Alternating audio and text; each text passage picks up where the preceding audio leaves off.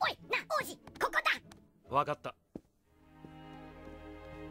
話を聞こうじゃないか。いいか王子はお母さん。があん。たに魔法をかけたみん。なをシンデレラも星取りしてるん。だよ王子と結婚するためにちょっと待ったわかったからいややっぱりわからない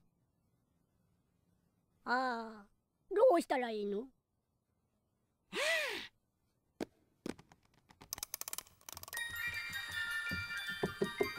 ンスをした可愛い女の子。女の子。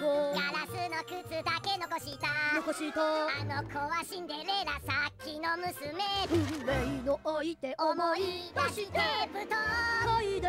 ぶと。嗅いで。シンデレラと踊ったこと。いや僕が踊ったのはアナスタシアだ。違う違う。王子はシンデレラの意地悪なお母さんのせいでそう思ってんの。そうそう。ずるいおばさんつが魔法をかけてかけて王子の記憶を消した。消した。シンデレラのこともダンスのこともでもまだ手遅れじゃない。そうそう。思い出してぶとシンデレラと踊ったこと。ちょちょちょ待った。僕が魔法にかかってるっていうのか。最悪なのはここから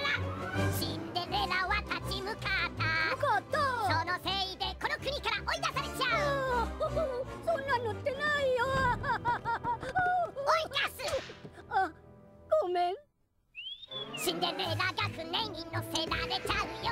王子なら助けられるその通り思い出してゆうべのどうかよ恋に落ちた二人を。魔法が引き裂いて二度と会えなくなる。思い出して。シンデレラと踊ったこと早く！魔法？魔法のせいでアナスタシアと踊ったと思い込んでるのかそれで全て説明がつく。ええ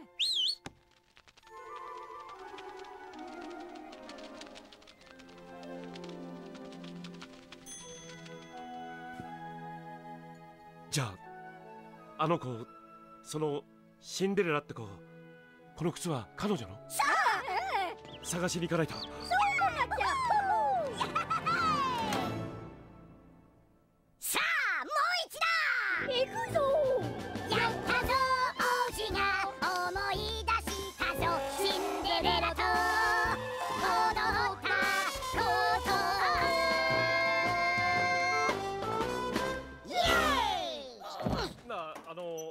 ありがとう。それと歌気に入ったよ。いいからして王子早く。